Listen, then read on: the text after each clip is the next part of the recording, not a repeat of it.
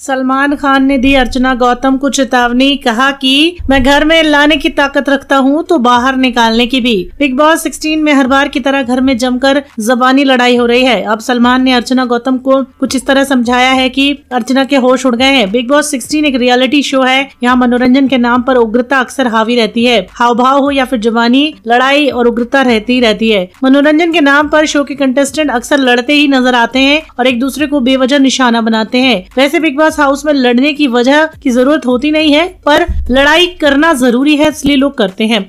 घर में विकास और अर्चना गौतम की खूब जंग चल रही है। अर्चना गौतम और शालीन भनोट के बीच जमकर कहा सुनी हुई और इस कहा सुनी में दोनों कंटेस्टेंट ने अपनी सीमाएँ लांगी अब सीमा लांगी है तो वीकेंड के वार में इसका नतीजा आना ही है। सलमान खान जो है वो यहाँ पर अर्चना की वोट लगाते नज़र आएँगे क्लास लेते नज़र आएँगे। सलमान खान, अर्चना गौतम से क्लास ले रहे हैं, कह रहे हैं कि उनकी मुंहफट होने की आदत से उनकी पर्सनालिटी की बाहर धज्जियाँ उड़ रही है। उन्होंने कहा है कि अर्चना गौतम ऐसा ना करें। लेकिन सलमान खान कहते हैं कि अगर सुनो, मैं तुम्हें शो में लाने की ताकत रखता हूँ तो तुम्हें वापस ले जाने की भी, निकालने की भी ताकत रखता हूँ। सलमान खान ने सीधा इशारा अर्चना गौतम को अपने व्यवहार में सुधार लाने की तरफ़ इशारा करते हुए कहा है। वैसे सलमान खान वीकेंड के वार में शालीन मनोज की क्लास लेते भी नज़र आने वाले हैं। वहीं दोस्तों बिग बॉस के घर के अंदर का शो आपको कैसा लग रहा है? कमेंट सेक्शन में ज़रूर बताएँ। फ़िलहाल इस वीडियो में इतना ही। धन्यवाद।